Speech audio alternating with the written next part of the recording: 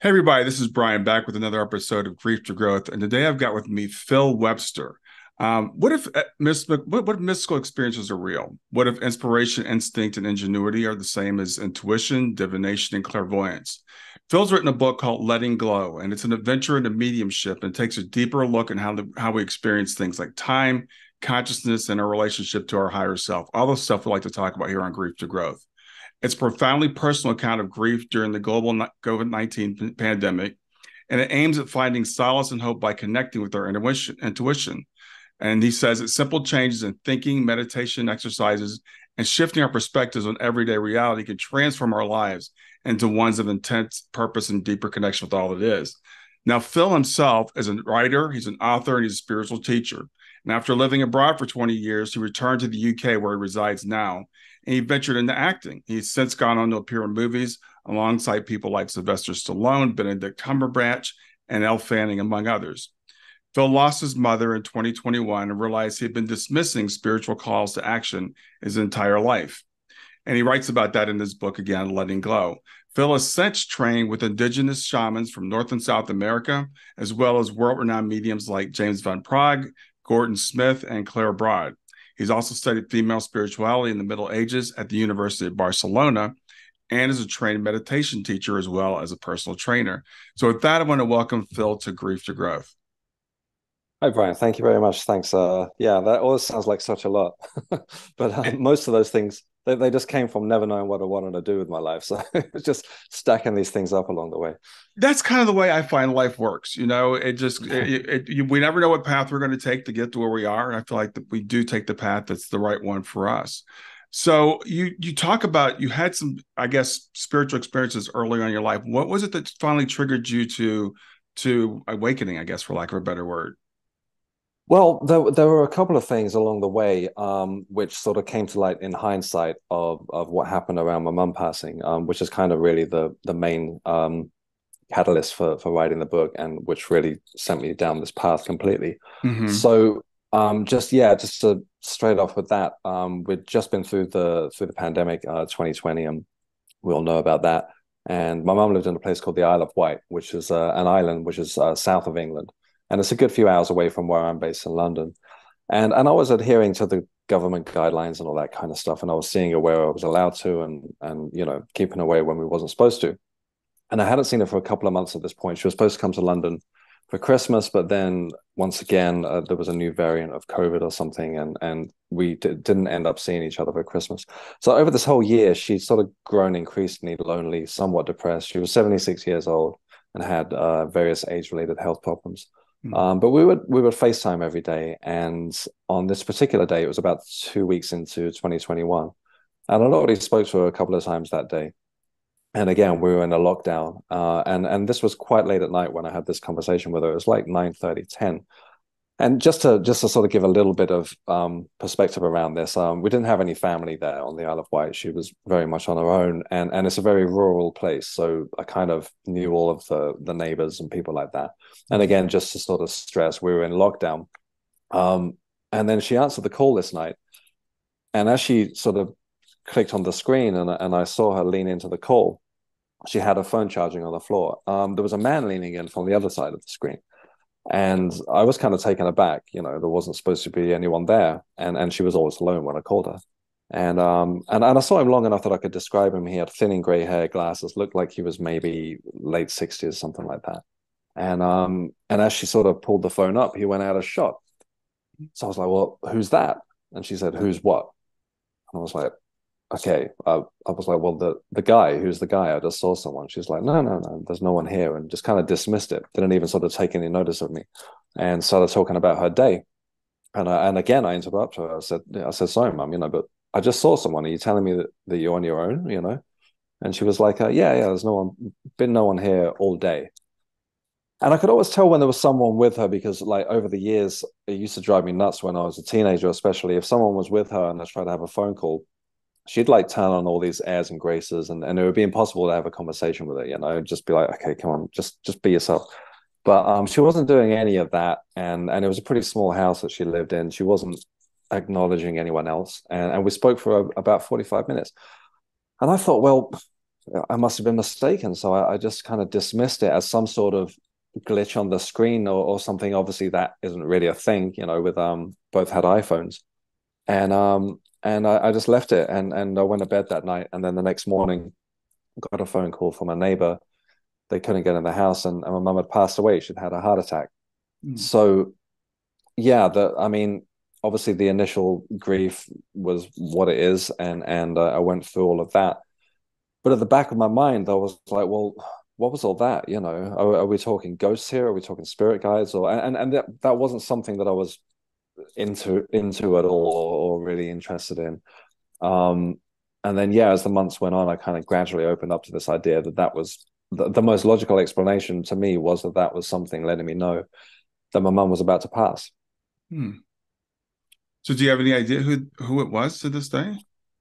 Well, that's the thing, you know. He didn't. He didn't look like a family member. I mean, I lost touch with my dad when I was eighteen. Um, at a stretch, it could have been him. You know, um, at, at the age he might have been, if he's mm-hmm. if he was still around. Um, I've no idea. I'm assuming he's not. Um, he he was quite a heavy drinker and he had one lung. He still smoked, and and then there was COVID. So I mean, if he, I shouldn't like sort of not not not to make light of it, but if he made it through that, then you know that I I wouldn't have thought so. Sure. Um, I mean, I, I, I ended up writing in my book that I that I sort of thought that it was possibly him, but I I just don't know, you know. And and like I say, um, I didn't really sort of get any comfort out of it. It was just like, okay, that happened, and I would tell people about it, and and depending on which side of the fence people were, you know, people would be saying, well, it was grief, and I'd be like, well, it, it wasn't grief because it was before the fact, you know. Right, right. And then um and then I would meet people that say, well, yeah, that was that was clearly your spirit guide or your mum's spirit guide and somebody letting you know that they were they were there for her, you know. Um, so yeah, I, I, I ended up going that route. Okay. And so, oh, I, first of all, I want to say I'm really sorry about your, your mother. I know that had to be a, a tremendous Thanks, shock. Yeah. yeah. Yeah. So, um, and before this, you were an actor. You you've done several things. So I know you've been an actor and you're a trainer. So what were you doing at the time?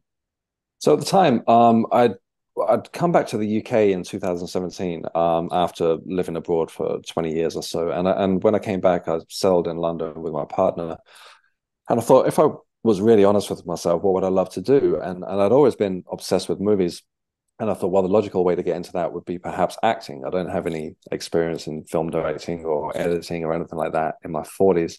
Um, so I went to drama school and very quickly got a few small parts. Um, but I, I use the word like actor very loosely when I refer to myself about it. You know, I'll literally walk on, say a line, and walk off again, and that and that's me done. You know, um, but it was good. You know, it paid the bills for a few years, and I, I must admit my attention's really gone away from it now uh, mm. since writing the book, and and kind of the path that I'm taking now. Mm-hmm. I feel that there are uh, there are a lot of egos on film sets, which is kind of to be expected, and um, I, I feel like that's not really the environment that I'm leaning towards these days. You know. Mm-hmm. So but, um, after- yeah, but uh, sorry. So after your your mother passed, tell me what was what was your your journey like then? You because you eventually ended up with shamanism and etc. But what was your journey like after your mother passed?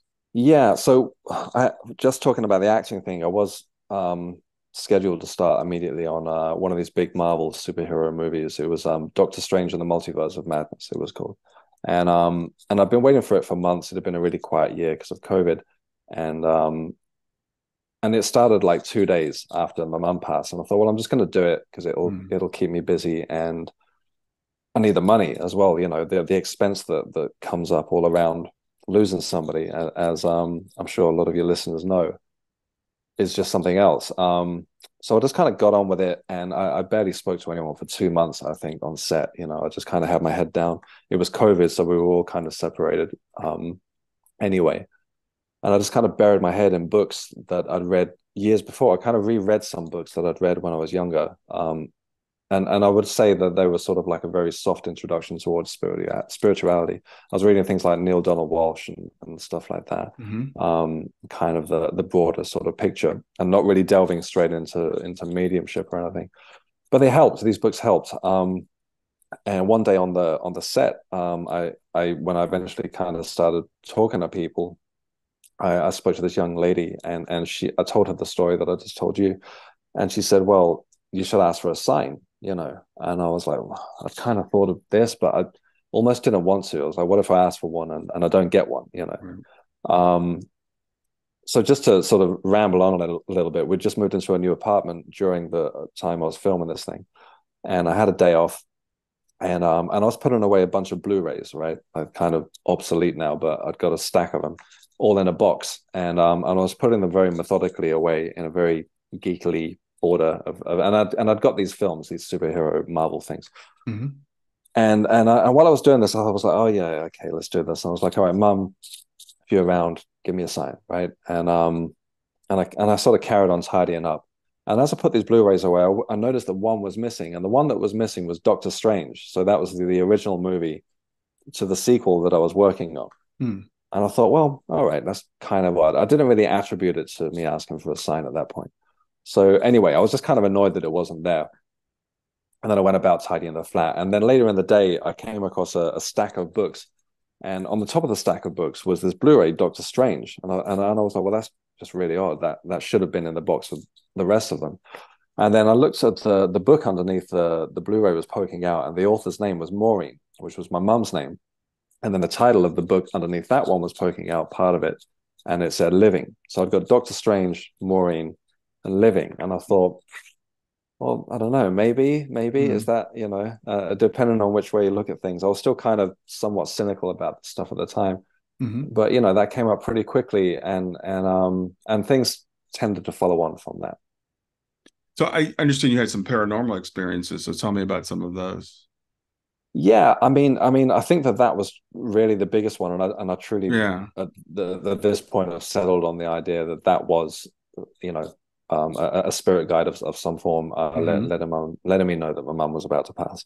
Um, if that hadn't happened that that evening, I wouldn't have wrote this book. We wouldn't be talking. It just sent me on this whole different so trajectory. That was what actually triggered you to, to go on the journey. Yeah, yeah, yeah, definitely. You know, I just kept going back to that. Well, like, who was that guy? You know. Um, but yeah, and, and it kind of made me reevaluate other things that had happened over the years. So when I was a kid, I remember stuff used to happen around the house um, things moving, stuff like that. And and you know, as a kid, that was kind of like exciting. And and and and then as I grew older, I thought, well, did those things really happen, or was that just like I was into that stuff? You know, I was like watching Ghostbusters in the '80s or something, and mm-hmm. you know, and mm-hmm. And. And, I sort of doubted it all. And, and I remember um, in my teenage years, I, I came across this term, uh, astral projection, and read up on it and tried to invoke it. And I had this experience, um, which kind of freaked me out. And and again, as years went by, I thought, I don't know, did that really happen? You know, or was it just like wishful thinking? Maybe I was dreaming or something like that. Um, although everything that I read about it afterwards kind of confirmed that that was the experience that I'd had. Um, but I, I, would put all these things to bed, you know. Um, and then something in my mid 30s, very profound um, and, and this is kind of weird talking about this because I'm talking years apart, right? You know, mm-hmm. like in the five years in the middle, I'm just living regularly, paying the bills, not thinking about any of this kind of stuff. Um, but in my mid 30s, I remember having this very sort of very profound experience um, where I'd kind of, I, I was living a pretty hedonistic lifestyle at the time. I was running bars and nightclubs in Helsinki in Finland, and I was kind of like very self-absorbed and just not really thinking about anyone else's business but my own. And I remember waking up this one morning and something just kind of, and it wasn't like a new thought, but something shifted with this thought. And, and I just started thinking about time being nonlinear, you know, that all we've got is, is this moment of now and, and that's it, you know, like mm. everything else is just kind of a memory or, or a, a thought of what we want to do in the future. But all we really have is now, you know, all the time. And as I sort of contemplated this, something shifted, and it was as though suddenly I were outside of myself, like observing my thoughts, almost like a, a depersonalization experience. I, I, suppose that is what I've kind of come to learn since. And it was terrifying. Something shifted in me, and, and I can't really emphasize how terrifying it was. Uh, all of a sudden, sort of reality just fell away, you know, out of nowhere, and and and linear time just seemed absurd, and and my whole existence at that point did also. So this is going kind of out there. Um, but I was like, well, okay, what the heck's this? You know, and I, and I went outside and I just tried to walk it off and it just didn't stop. Mm-hmm. And, and, it, and it's really hard to describe it. And it was at the time I was trying to tell my work colleagues and, and friends and people were just kind of glazing over being like, okay, sure. You know, like I sounded completely nuts. Um, but it was it was truly terrifying, and and and it was just like now, now, now, now, all the time. I couldn't just sort of drift off, think, well, what I'm going to eat for dinner later, or what did I do last night? It was just like this hyper awareness that just didn't stop. Interesting. And people talk about, yeah, like like you know, people talk about trying to attain that, right? Like right. you know, live the moment of now. But this was like that times a thousand, and um, and I truly started doubting for my sanity, you know, and it kept going on. It went on for weeks, just didn't let up. And I ended up going to a doctor who I, I explained all this to as best I could. And they started using words like psychosis, which just amplified this terror. You know, I'd never mm-hmm. thought that that was on the cards for me. Um, and they gave me a bunch of meds like anti-anxiety pills which didn't touch it at all uh, sleeping pills which would like knock me out and then i'd wake up and the whole thing would just start over again. And and I think the best way I could describe it was like I was it was almost like I was hanging on to like a slippery bar by my fingertips and just about keeping a grip on reality. Essentially, it, it just felt like I was I don't know what was going on. Mm. I, I, and I, I, went to see another doctor because I wasn't happy with the psychosis diagnosis, and he said the same thing. And um and eventually, after a couple of months of this, I I, I started thinking, well, this just isn't. If this is the way my brain works now, I'm I'm out of here, you know. And and I don't mean to take this down a dark path, but I didn't see any tragedy in that. You know, I thought this just doesn't work. I, I can't function properly like this. And mm. um and I ended up going to see a, a psychiatrist.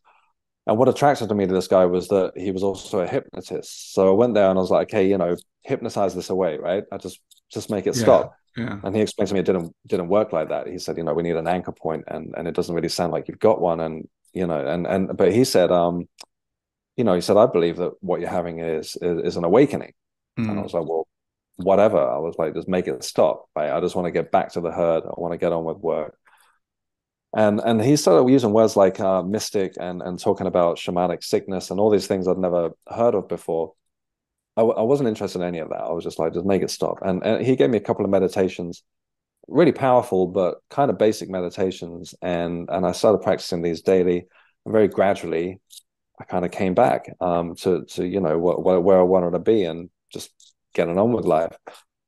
So yeah, sorry that was a long-winded story, but I kind of again once I got through it, and I I got to say I came out of it a lot humbler. I feel like my ego was just smashed to pieces, you know, when I was kind of doubting for my sanity, and I, and I did come out of it um, just through these meditations um, on a daily basis and and uh, and it kind of made me stop sweating the small stuff, which resulted in moving back to the UK, exploring acting, all that kind of stuff.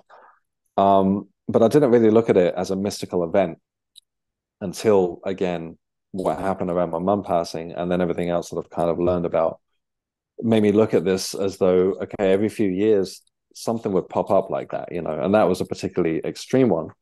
But it seemed like something had been tapping me on the shoulder like the whole time, and and I feel that now you know, after doing various things like, you know, for, for work and this and that, I feel like I finally, you know, found the path that I was possibly always supposed to be on. Yeah, well, I thank you for telling that, and I think it's really interesting, and, and for for people that are younger, possibly listening, because life doesn't make sense as we're going through it. I forget who said after it was a philosopher said that you know it's like life can only be understood living backward, looking backwards. We have to live it moving forward and we mm-hmm. do we as we look back we find these events and we put we put together the pieces of the puzzle and we can see how they, they make sense. Um, i also think it's fascinating you talking about that. I've been reading a lot about uh, time is non-linear time doesn't exist and all this kind of stuff and trying to wrap my brain around it which we really can't do. Um, mm-hmm. i think our, our, brains just don't work that way. And you know Eckhart Tolle with you know that, that book the power of now everybody wants to live in the now so we think um, so it's interesting that you had that experience, and it, you know, it's yeah, I, I didn't not ple- not pleasant. it wasn't pleasant. It, it, was. I've I've never actually read that book. Uh, I've I've heard snippets of of him talking, and, and I'm like, oh yeah, well, I know all about that. Um, mm-hmm. but it was out of nowhere. It was just like it was such a shock.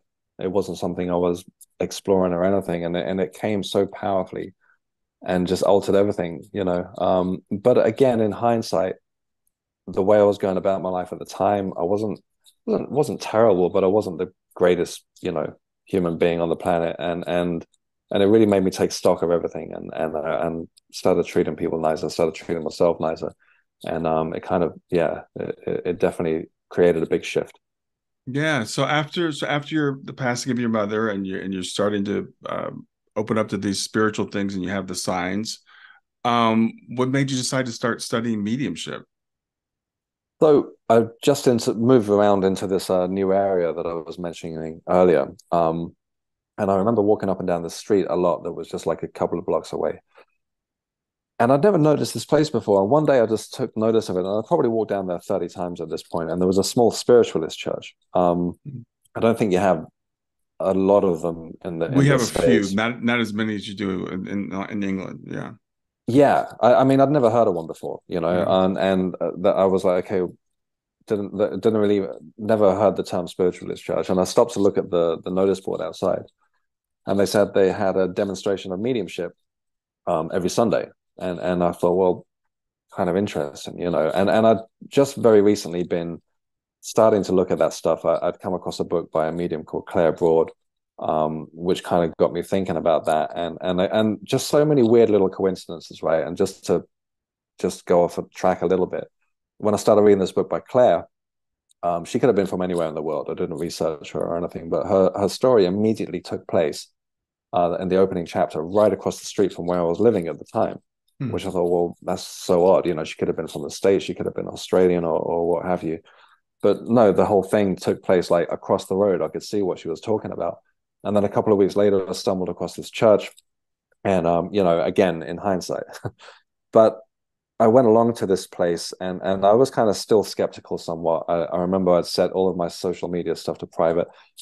No, I nonsensical completely because it's not like anyone knew that I was, you know, going to show up there or, or, knew my story or anything. Um, and then I watched this lady work, a, a lady called Janet Neville, and she started working working her way away around the um, congregation, I suppose you could call it, of maybe fifteen people or something. Mm-hmm. And she started telling people about you know how uh, describing a house in Scotland and she claimed that she'd never heard of this place in Scotland and and this lady was sitting confirming it like yeah yeah that's my that's my husband's family. You're you're describing their house.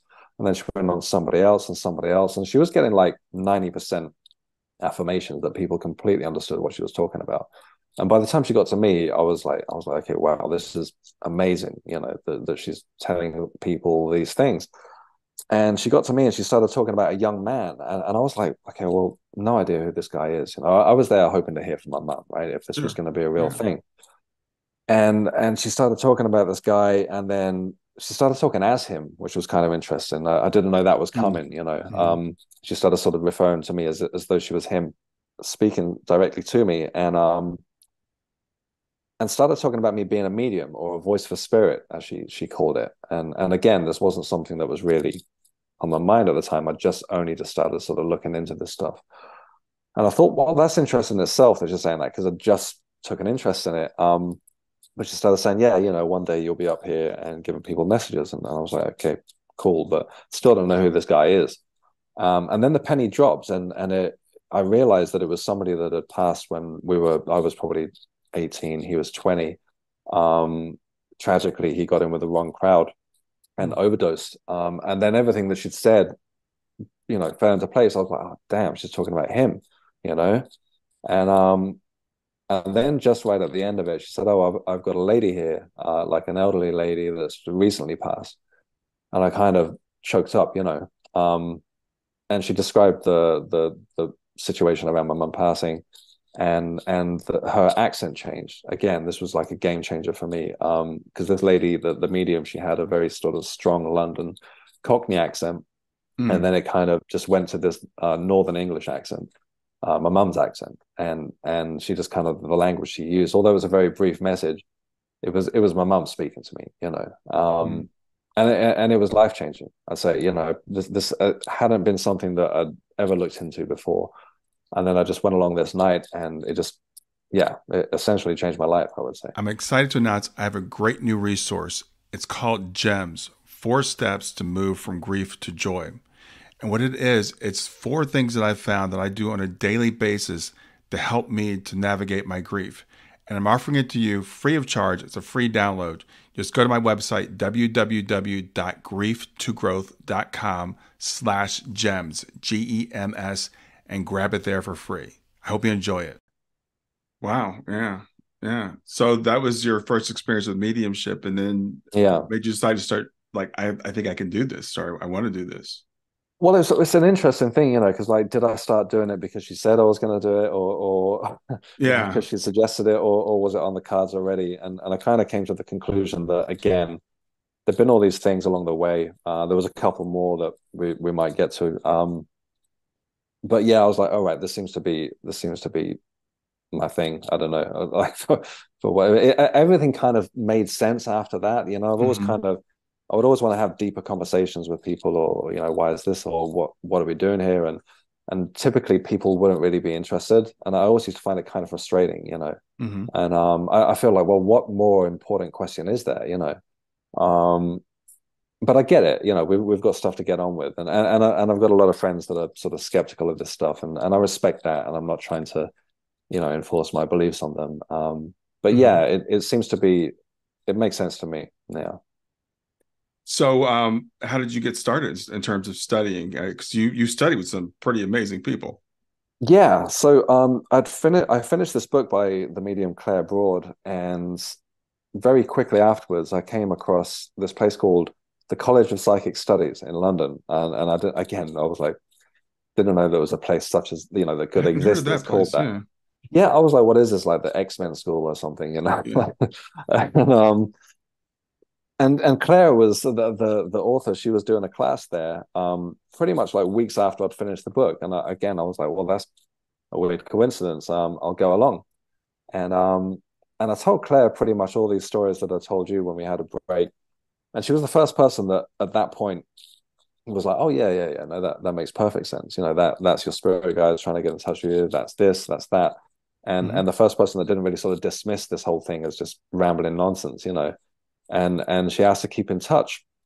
Um, so yeah, I, I, very quickly became like fast friends with her, mm. and took a, a, lot of her workshops and classes, and then.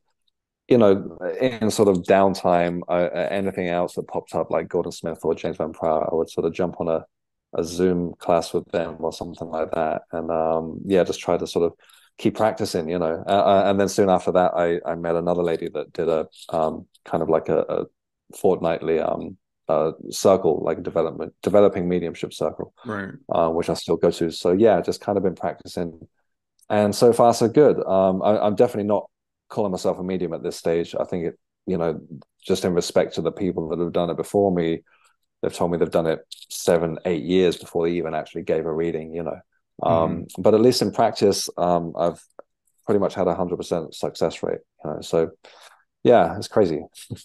Yeah, it, mediumship is, is different in the UK than it is here. I mean, here people they'll take a weekend workshop and they'll go out and they'll start calling themselves a medium. And, yeah, right. And, yeah. and in, in England, it seems like you guys are a lot more serious about developing and and you know, uh, I, have you do you know have you heard of Nicky Alan? I'm not sure. It might sound familiar. Might sound she's familiar. a she's a medium in England, and she's written a couple of books. And one of her books, she talks about you know going to the spiritualist churches, and they're like, you haven't been practicing long enough, so they wouldn't even let her, yeah. Know, let her on the platform. So that that's something I'm very conscious of because you know I wrote this book and I wrote another book straight afterwards that they'll be out next year, and and I kind of feel like somewhat like a little bit of a maverick stepping in saying, hey, I'm I'm a medium in in a year, you know, and this is how to do it. And I've kind of like wrote what's worked for me, and in in theory the reader could you know follow these steps and and progress as well mm-hmm. but i'm also conscious of not upsetting this very traditional you know um uh, long long history of of, of spiritualism in, in this country like you say you know that that i don't want to sort of be frowned upon um for for suggesting that anyone can go out and do this um yeah i i i don't know you know i i remember seeing a girl one night step into the church she she said she'd been doing it for a couple of months and she just gave you know, confirmation after confirmation of people, every, everyone's hand was going up and mm-hmm. all agreeing with what she was saying. It was, you know, she seemed as good as the ones I've seen doing it for years. So I don't know. Maybe, maybe there's just kind of a, a traditionalist hierarchy to it. I'm, I'm not sure. Yeah, well, I think it's kind of like, uh, and I've been I've been talking to mediums for several years now, seven or eight years. I mean, you know, and so what I've come to the conclusion, it's kind of like people that have skill to play music there's some people that are prodigies, you know, and they can they can pick up a guitar and teach themselves to play. And then there's mm-hmm. someone like me that could study for years and never be any good at all. And there's everything right, in between. Right. right. So there's there's nothing that says that you have to be a medium for 10 years before you can be good, but it's probably mm. exception rather than the rule. Yeah, yeah, that makes sense. That makes sense. Yeah. Yeah, I'm just like I say, just very uh, cautious about about stepping on any sort of traditionalist toes because there are people around that that I've met um, that really studied with people from a hundred, you know, that were around a hundred years ago. You know, they kind of met them at the tail end of their lives, learned from these people that were the the pioneers of this stuff, and mm-hmm. then like two generations away, you know, it's it's kind of really close to the, to that um, traditionalist element. So yeah, I'm kind of always trying to be respectful for it. You know. Yeah, I think that's great. I think it's great that you take it seriously, but also I would encourage you to uh, be confident in, in your abilities because I've again I've, I've known lots of mediums. Uh, some are some are just natural born. Um, I was talking to one just the other day. She just just always been she's always seen spirit and it's always been with her. And then I know people mm-hmm. who have developed, you know, in their 30s or 40s or even 50s, and it took them, you know, years to develop after that. So it's it's everything in between. Yeah, yeah. Yeah, no, well, I mean, just sort of to bring it sort of full circle, I mean, it, it's very much helped me um, with dealing with the loss of my mom. It's been, well, yeah, it was January uh, 2021. So, you know, we're approaching somewhat the three year mark. And I feel like it, it somewhat accelerated the healing process for me. I, am not sure. Of course, we all go through this at, at our own pace. Um, the first year was unbelievably hard. You know, um, I, I, I wasn't prepared for how hard it was. Um, and, and, and you know, a lot of people lost people around that period of time, and and I'd, I'd, a friend of mine had lost both of his parents, or, or, a few friends actually, and you know, a couple of them are like, well, you know, it's cool, I'm I'm moving on. You know, six months later, and I'm like, I, I can't even comprehend that. You know, that, that mm-hmm. I I wanted to hurt, I wanted to feel all of it, and um, but that being said, um, learning about this stuff was a very sort of mixed bag of emotions, and writing the book too, because um, as much as I was pouring my grief into it, and it definitely helped to sort of write about it. Um, I was learning about these amazing things, you know, and they were happening almost weekly uh, as I, as I explored mediumship. So yeah, it was kind of a very bittersweet journey, you know, um, but right. but it definitely helped. Definitely right. helped. So have you been have you been in contact with your spirit guide since since then? Are you are you making connection with them? yeah, I, am still learning to meet them. It's, it's, kind of funny to have like a few years ago, I would have dismissed this whole thing. You know, um, I, I, would have probably been intrigued, but I wouldn't have taken it that seriously. But to talk about it now, uh, yeah, you know, I, have met a couple of them. Um, I, I, feel like I'm still meet, uh, on my way to sort of getting to know more. Um, definitely the last couple of months since the book's come out, um, and and talking about promoting it and sort of thinking about all that stuff, it's kind of made my practice suffer somewhat. I haven't been meditating as much as I should, and and and and all these kind of things. And I can see it's kind of gone to the wayside a little bit. But mm. um, I plan to get back to it very very soon. Um, and I think that's fine. I think that you know we we we're also we've also got stuff to get on with. We need to pay the rent, and you know we've got practical obligations, and we are having a physical experience. So I think that it all happens in its own time. Um, but yeah, I, I initially the first year or two, or the yeah, up until recently, um, I felt very much connected and and um, yeah, it, has been interesting. It's been interesting, mm-hmm. and and just being able to sort of differentiate between my thoughts and what I believe is coming from from them. Yeah. Well, I, I know you've said you've been you feel like you've been guided to write a trilogy to write three books. Mm. Um, mm. That's I assume that's coming from your guides, or where is that coming from? Yeah, definitely. So the second book, um, which is goes way out there, it's kind of less about me and more about the the bigger picture. You know, mm-hmm. um, I, I've pretty much, to an extent, told you my whole story as, as things around you know that have happened to myself. So I, I, don't, you know, I don't want to just write a bunch of books saying. Um, I mean, I've I've read books like this that uh, where mediums are talking about um, you know confirmations that they're given to people or, or, or readings that they're given for people and it's kind of a list of that i i, I don't want to do that you know I, I don't want to just be like and then this person said that and then they said that and then they agreed that and while those things did help me um, initially i feel like there's a bigger thing going on here that we mm-hmm. should look into and and i feel that the second book I feel that half of it wasn't from me. You know, um, I'd look back at it and I'd think, okay, that's that's way smarter than me. I'm not. I wouldn't have come up with that. You know, when I read it now, um, I I I I couldn't um, sort of off the top of my head talk about some of the things that I wrote in there. I, I truly believe that it that it's come from something mm-hmm. higher than me. Yeah. yeah. Um. So so I've left it at that. I, I haven't made a start on the third book yet, and I'm just trusting that it'll come to fruition when when it does. You know. Okay. So um. In, in your in your first book, the book that's out now, there's I know there's some yeah. talk about like meditation and exercises and things that people can do. So it's more than just your story, right? So tell me about what the other parts of the book are. Yeah, definitely. Um, I just started writing about what really worked for me um, in terms of meditation, and that was really a game changer from back before my mum passing or anything like that. Mm-hmm. I was kind of looking at it as a more sort of practical mental health practice um, that, that I learned about. But then, as I started exploring for mediumship, it seems that meditation is truly the the doorway um, to to open open us up to that. And and one of the things I like to sort of talk about is that, uh, and there are probably a way way smarter uh, terms to use than the way I'm going to describe it, but as uh, as though we've got like a backseat driver, you know, which is our consciousness, which is observing our thoughts, right? So you know, we we sort of we react to our thoughts and respond to them, and and everything comes from thought, essentially, right? You know, um, and and I really sort of ran with that idea in the book that when we can sort of take a step back and and don't get attached to the emotions that are that are sort of we're constantly being bombarded with this and that you know um, for example one one thing i always say is kind of you, you step outside and you're on your way to do something and you see somebody in a red t-shirt and you know that kind of triggers some memory of somebody at school that bullied you in a red t-shirt or something like that. And you got that going on while you're trying to do what you're trying to do. And it's just non-stop right?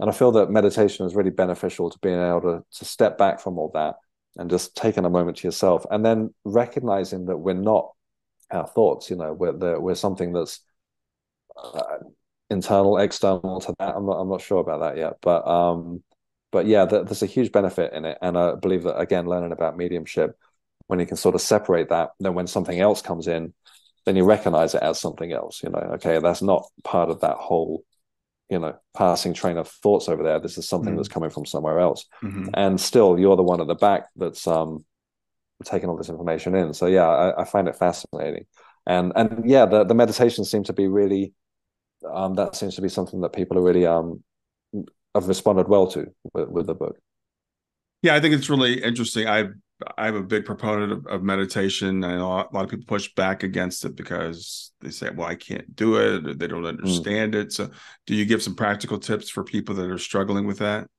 Yeah, definitely. I, I did one the other day, actually. Um, uh, uh, really, very gradually, I've been going to these sort of spiritual um, uh, festivals and stuff like that that are, that are a thing here. Um, mm-hmm. And I did one the other day. A, lot of people showed up. I, I would have been happy with one and I think about 60 people showed up. But I kind of um, there was a lot going on around us. It was a big sort of festival. There was drums playing somewhere and people doing this and that. And I, and I think that you know we we have this sort of illusion that that we have to you know be sitting in silence and not get distracted. And kind of I think it's fine to get distracted as long as you just bring yourself back. Um, so with that meditation that we did that day, I was like, okay, well, let's use these sounds, you know, to sort of ground us to this moment. Because I think that's also key, you know, just being present in the moment. Um, mm. Nothing as terrifying as, as I talked about earlier, but just being conscious that we're right here, right now. Yeah. Um, focusing on the breath, always come back to the breath. And, you know, if you do hear a dog barking in the distance, just use it, you know, be like, okay, that that's me right now. That's keeping me right here while I, you know, sort of go through this. Um, and, you know, distractions are going to come up. It's, it's inevitable um, but just yeah always come back to the breath always come back to the present moment yeah i think that's it's great that you do that and and describe for people um, and and it's kind of i was kind of smiling there when you talk about coming back to the present moment thinking about your terrifying experience of yeah. Yeah. not being able to get out of the present moment but there's there's that balance in terms of being a human you know, I just said I'm I'm struggling right now with this concept because I'm reading all these books telling me that time is an illusion and there's really no past and there's really no future, and it's a, it's a concept that we that I struggle with. But you've had the the flip side of that experience. Yeah, I mean, it, it was so terrifying. But then I've had I've had things since uh, around mediumship. Like for example, I shouldn't really tell all the tales that are in the book. But for example, there was I was struggling with this whole mediumship at one point, and and I was begging for you know I'd I'd had signs, but I wanted more. And I was at my mum's house. Um, you know, she'd been gone a few months, and and I still sort of kept hold of the house just to sort of be there and be around her things and and grieve. Mm. Um, and I remember going to the beach one night, and I was like, okay, well, you know, if this is a thing, if you if you whoever you is um wants me to do this, then give me. I need more. You know. Um, and and this was like a, a, pretty crazy experience, I have to say. And and I'd settled in this spot on the beach, and and I was crying. I, I was very much missing my mom. I probably had a bit to drink that night, and and I started kind of just like yelling. I was this like proper freak out moment. I was like, mm-hmm. all right, you know, just give me something if if this is what you want me to do, you know. And I'm talking spirit guides here. And I'd been sat there for a while, and I was kind of giving up. And I turned to my left, and there was a there was a cafe right next to me, and there was a chalkboard on the cafe. And th- this is, I still don't really get this. Like, um, and on the cafe chalkboard was my name. It said Phil, wrote in chalk, and all around it it said hi, like hi, hi, hi, hi, hi, hi, hi, as in, as in like the greeting. And I was like, okay, here, there we go again. You know, I'm asking for a sign, and there's my name and and a bunch of like sort of greetings around it and and and I'd gone there before the fact, right? So I'd gone mm. there before I, I, was kind of asking for the sign and stuff like that. So the whole thing, you know, about time being non-linear and maybe on the other side that that's probably the case. Um, that they kind of, I, I'm assuming that's recognized my plight, taking me to the place that was going to give me the, you know, the the comfort that that I'm on the right track. Yeah. Yeah, yeah, that's great. Um, so can you explain to me because I, I, know that I was reading your your notes and one of the things you said that really intrigued me that you said that inspiration, instinct, and ingenuity are the same as intuition, divination, and clairvoyance. So what do, what do you mean by that? Yeah, absolutely. I think you know, and this is something I say a lot, um, but I, I really I, I, believe it's true. You know, people talk about having a gut feeling, or we we say we can't put our finger on something, or we talk about walking into a room and cutting the air with a knife where someone's had an argument, and you know we pick up on these things, mm-hmm. and we all agree that this is a, a real thing. You know, no matter if you're skeptical of, of any spiritual stuff or not.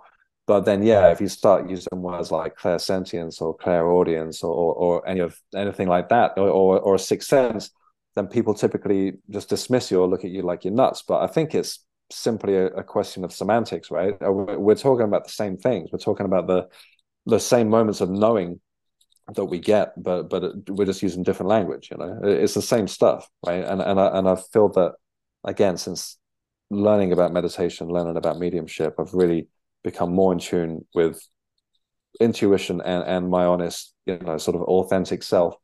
Um, yeah, I I think we all have them. It's just we just use different terms for them. Yeah, I think that's a really good point. We we do shy away from from certain terms, and uh, we've all had the experience. You know, for example, you think about somebody and the phone rings and it and it's them, and yeah. you know we just we chalk that up to coincidence and, and things. We've I mean we've all had experiences like that. Yeah, that's it. And and you know even some of the more sort of profound uh, I would say, sort of mystical, spiritual experiences, they somehow, uh, I feel that they don't quite sit in your memory the same way as everyday practical stuff, you know. So when something does happen, like like me sitting on the beach and there's my name wrote on the cafe, or or I've had a couple of other things. Uh, uh, one with my partner, who she's very much on the fence about this stuff. She kind of it's kind of good. She keeps me grounded somewhat, um, mm-hmm. but she's very sort of um, leaning more towards agnostic, I suppose. Um, we had an experience together that, that that was very overwhelming and profound. And and she was like okay what what is this? You know what there was something physically sensation like going on something was mm-hmm. with us. Sure. And, and um and i said well this is what i'm talking about. This is exactly what i've been talking about all these months. And i know she experienced it. And i said after this is done i said you're not going to remember this the same way because it's not like something that comes in through the usual senses it's not something that you can touch or taste or or, or I mean, these things happen as well. But this particular thing that was happened to us, it was more like a knowing or, mm. or, or a, a, very odd sensation that was that was happening between us. And um, and afterwards, she kind of was like, "Yeah, well, something happened, but I don't know. You know, I I thought that that thing was going to change everything for her, but it didn't. You know, she's still like, well, yeah, something happened, but doesn't mean that I believe in life after death at this point. But um, you know, but yeah, I, I just to go sort of back again to to the point, I, I feel that these things don't really sit in our memory the same way as you know what we just did uh, this afternoon. You know. Well, you you described something there that I think is very important that we that we kind of dig into a little bit because you talked even about some of the experiences you had earlier. We have an experience; it's very visceral, it's very real to us. We, but then over time, our brain talks us out of it. Did exactly. that really happen? Did that yeah. really happen the way I, I felt it happened? And especially, especially when it's a subjective experience, when it's only us, just, yeah. just just one person seeing it. If two people see it, we we give it more weight. I think that's very interesting about about our culture too. It's like if I see something and I describe it to you, then people are like, "Yeah, maybe it happened." But if, if two people describe it, then we we we give it more weight. But we, I think we all talk our tend to talk ourselves out of things like that. Yeah, absolutely. You know, I, I would still do it myself, and, I still I've heard of mediums, you know, that, that have been practicing for years, saying that they still question it, even though they they get this information like on a regular yeah. basis. They're still yeah. like, I don't know, is it is this real? You know, um, it's kind of weird, you know. Like I, I and for myself, like I know that these things that I'm giving to people, I no idea where it comes from. You know, I know in theory how it works, but I don't know the actual mechanics of it. And all you can sort of do is just trust that it that, that it's a thing. And, and I think that's really the key. And that's probably where a lot of skeptics um, sort of point out that that that that's what's not logical about it. It's like, well, if you start believing in this stuff, then you're you're going to be looking for it, and then you're going to sort of confirm to yourself because you're actually searching. You know, you know what I mean? So it's, mm-hmm. I, I, I get it. Um, but yeah, you know, I, I had another experience, and sorry, I won't keep rambling on about stories.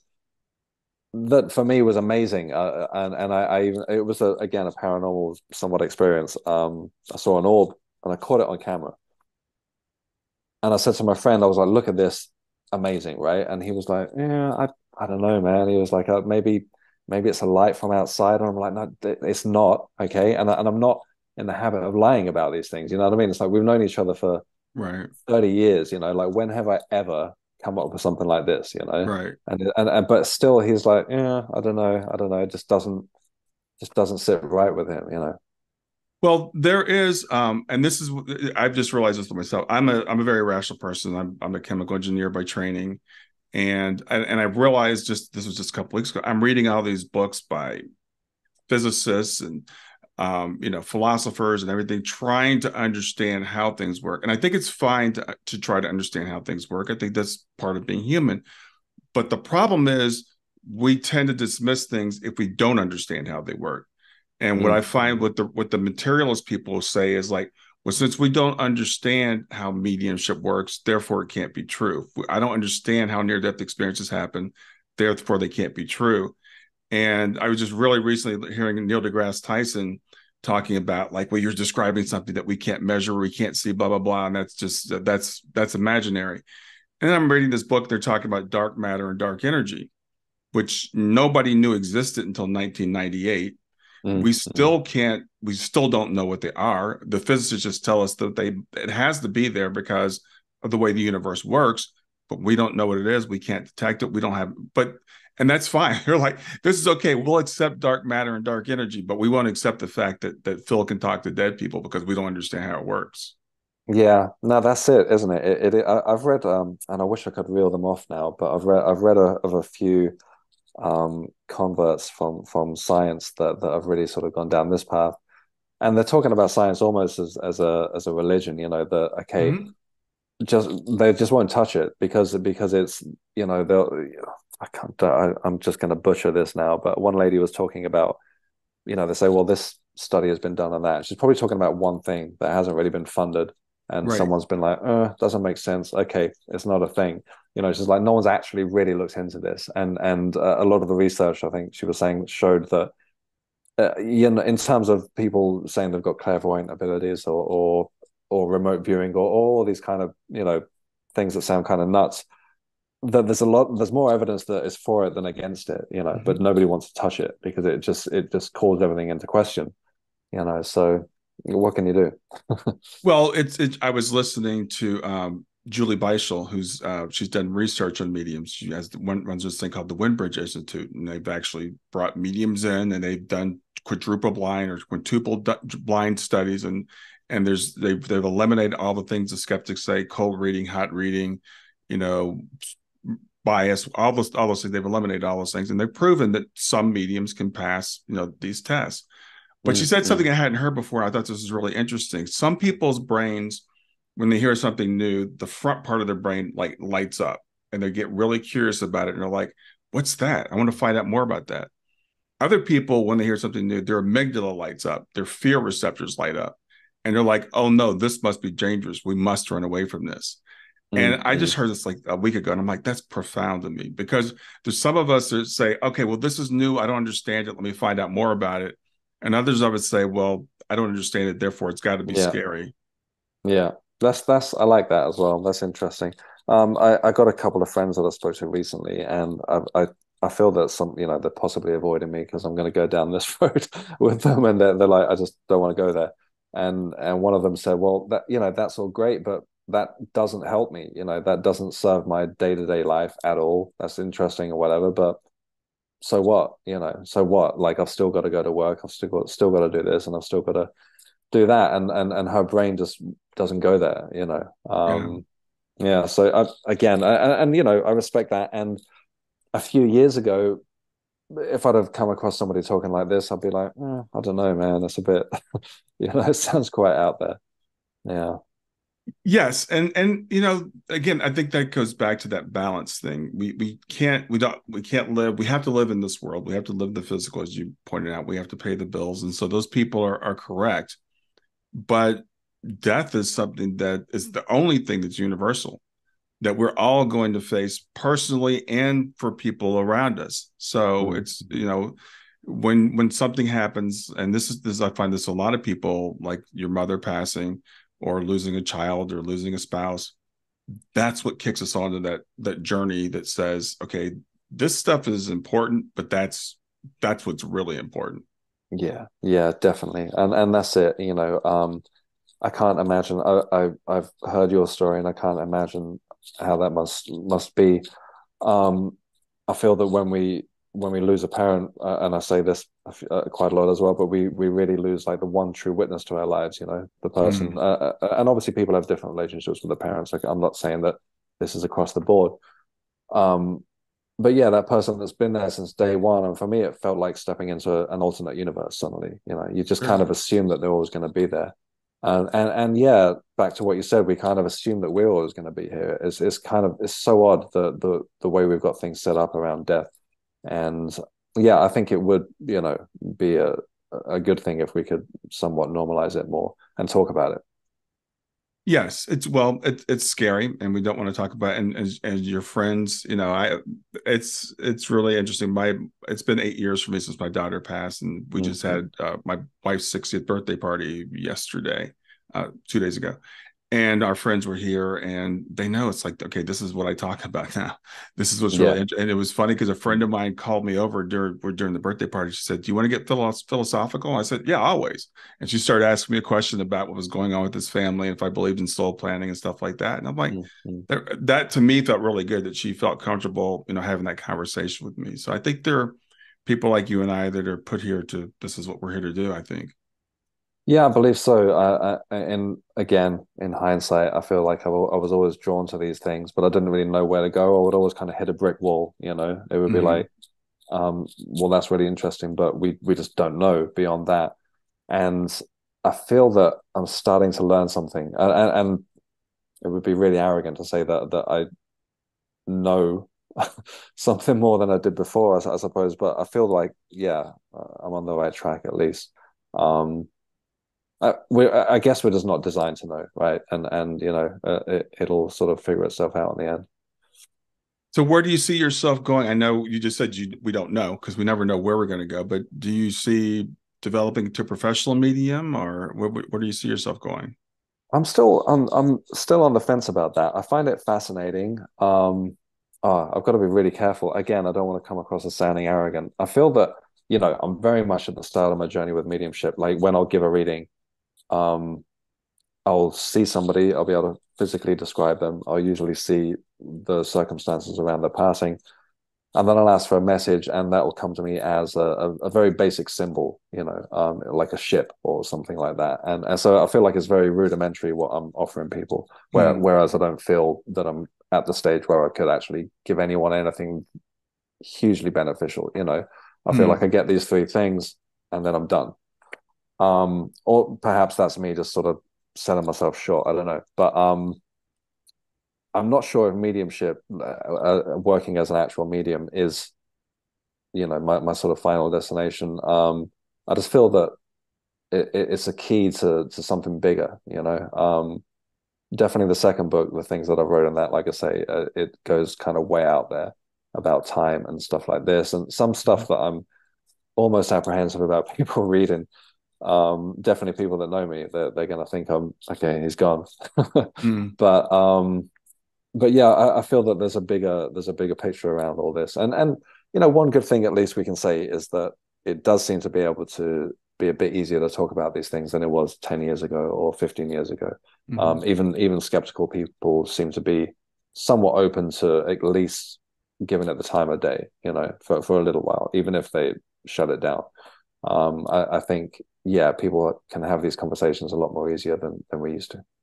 Yeah, I, th- I think so. I, there's a couple of things there. I think science, frankly, is catching up with mm. with, with, philosophers and and and the, theologians have told us for thousands of years at this point. Yeah. Um, you know, you read, you look at quantum quantum physics, quantum mechanics, quantum theory. Everybody knows what that is now. You're you're mentioning the Marvel movies, and they're exploring a lot of these themes. Um, yeah, like the Doctor Strange movie when I went to see that, I was like, wow, this is this is a deeply spiritual movie. I, I know that's not what they meant to make, but it is. Yeah, I, I remember I was on a plane and I watched was it uh, the the um, animated Spider-Man movie uh, from a couple of years ago, uh, and that I was like, this is this is deep. And like when I was a kid, I was watching Scooby Doo, and they would pull the mask off someone, right, right, and that would be the end, you know. But they, they, they're talking about like multiple dimensions and stuff like that. Now it's like really you know, if that, if that's how kids are thinking these days, I mean, that's that's pretty impressive. Yeah, and Disney's putting up movies, you know, like Soul. So I think I mm, think what's mm. happening is, I, I think people are moving away from religion. So and people tend to mix up religion and spirituality, mm, but mm. people as as we're getting these messages in a non-religious way, uh, people are more open uh, to them. I I I think I think I think people crave this stuff. I think there's just we, we tend to push it down because society tells us that we need to. So I Definitely. applaud you for being brave enough to put yourself out there. No, thank you. Yeah, I mean, you know, it's been like I say, it's been a, somewhat of a healing process for me. Um, um, and, and after I'd written the first book, I just felt like I'd learned so much, mm-hmm. and and like I sort of like I feel that my story was done to an extent. Um, and and then I I kind of learned all these amazing things, and I was like, well, I've got another book here, and sort of really went into that. Um, in the bigger picture, it still kind of comes down to my opinion somewhat. So I'm not saying that it's that it's all you know, for want of a better word, gospel, but you know, um, food for thought, I suppose. Yeah, yeah.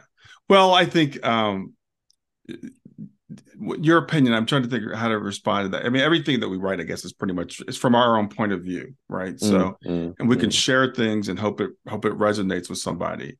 But even again i i being a being a scientific person myself and, and realizing that you know every new every new scientific theory is laughed at at first. It's all like mm. that's crazy. That's insane. You know quantum quantum theory was laughed at you know the first guy that talked about microbes he said you know i think diseases are caused by these invisible tiny things that are like floating around in the air. They're like you're there's no evidence for that. You know so hmm. that's it's all laughed at at some point. So um yeah i i your your opinion your experiences um and i and i i do read a lot. Of talk to a lot of people. And so i i see when i look at the commonalities between people say that's where i see the truth. And there are a lot of people yeah. saying the same things that you're saying now. There, there are people that are putting that message out. That that's a, that's I think that's a hugely important point as well. Yeah, like when I've been looking into this, it's like okay, there are so many of these stories. You know, people talking about near death experiences and and so mm-hmm. many commonalities, and all of them is and how is this just being ignored? You know, like I don't know how many thousands of people talking about uh, you, you know similar experiences uh, uh when especially when they've passed and, and come back again. Mm-hmm they're, they're all the same story essentially. You know, um, there's got to be something to it. Right, right. And again, people, this is why people like us need to keep telling because people think, oh, near death experiences, there's, you know, every once in a while people have them. It's, it's a, a lack of oxygen to the brain, it's a hallucination. And there are people that have done research. So whenever someone said to me, I'm like, you need to read this book or you need to look at this yeah. you know, research um, mm. because people have actually controlled for, for all that. And um, it's, I think the estimates between five and 10% of the population's had an NDE at this point, which is, literally billions of people on the planet that have had this experience. Right, um, right, yeah. While, I, I I undershot there with thousands, yeah, billions, yeah. Yeah, it's it's it's it's yeah. millions and just in the U.S. I mean, yeah, yeah.